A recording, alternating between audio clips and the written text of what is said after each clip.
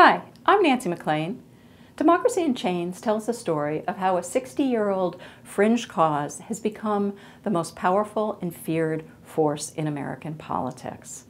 The leaders of this cause now refer to themselves as conservatives, but their founders were more truthful. They are radicals of the right who seek to transform the relationship between you and your government by undermining the central element of democratic governance, majority rule. This cause now operates within the Republican Party, but they're not Republicans, at least not the kind that my father voted for all his life, and perhaps you have too. They've simply taken over the machinery of the Republican Party to achieve their goals.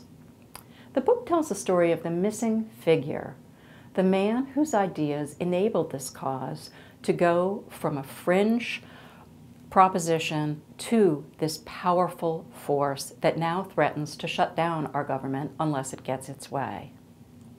By his own admission, Charles Koch gained little from all that he invested in this cause from the 1960s onward until he began to adapt the ideas of James McGill Buchanan. It was Buchanan who taught Koch that for capitalism to thrive, democracy must be enchained. Who was Buchanan? What did he understand about the rise of the liberal state that is now informing a strategy to undermine labor unions, to pass state laws restricting the right to vote, to uh, gerrymander on a scale never seen before? All of those things.